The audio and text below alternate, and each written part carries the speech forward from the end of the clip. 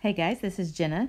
Here's an updated tutorial using iOS 13 on how to download and unzip a card pack.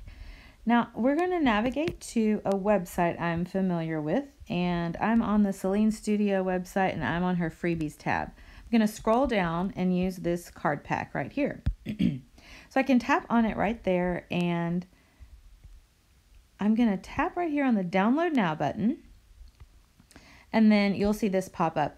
If it's a single card, sometimes the word view in blue will be right here next to download and you can tap view and then download the single card just straight to your camera roll.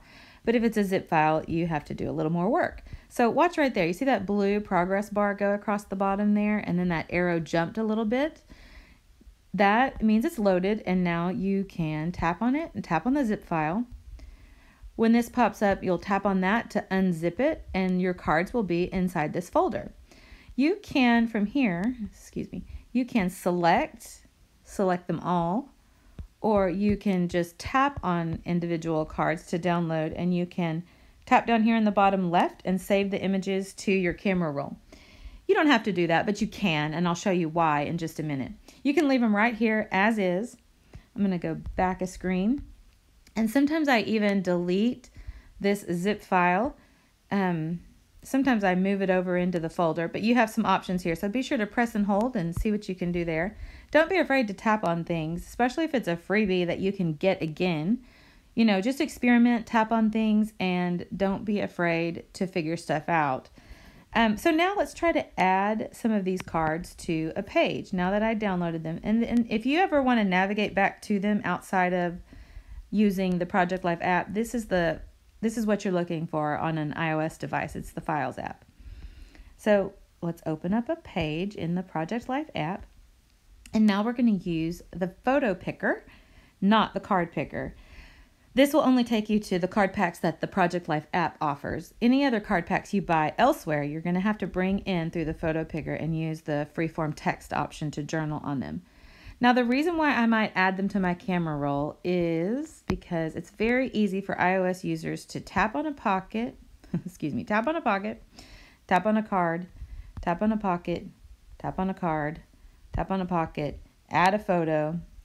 Um, Android users, I don't think, can do that quite yet. I say yet in hopes that it will come to you. But if you want to just leave them in your iCloud, You'll get to them by tapping on Cloud, tapping Browse, and then you might always want to tap Browse at the bottom to see all these options pop up. Now they'll be in here, but a quicker way to access them will be just to tap on this download button, tap there, and add a card. Okay? So sometimes when you close that page and you go work on something else and you come back to it, these outside cards, they'll just be like a gray placeholder. They won't actually show up sometimes. And of course, it's a glitch that just happens randomly, and when I want it to, it won't, happen. But all you got to do is open the page and then close it again, and, and they'll be there. So be sure to do that before you try to export a page.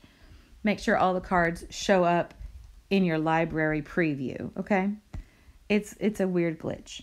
Let me navigate to the group and show you something else really quickly. Um, let's see. So I'm going to just come to, let me get to the group. I posted this link and I want to show you how to get to it from social media apps. So you're going to need to click on the link and then you're always going to need to be in the habit of tapping on those three dots and opening in Safari before you try to download. So now you'll be able to download. So let's go through it again. I'm going to click on the download button, but I want, again, I want you to watch right up here where this blue arrow is. So I tapped on the download button and now it's loading. Okay, so make sure you see that happen and you'll have it in your Files app. If you have any other questions about this, let me know.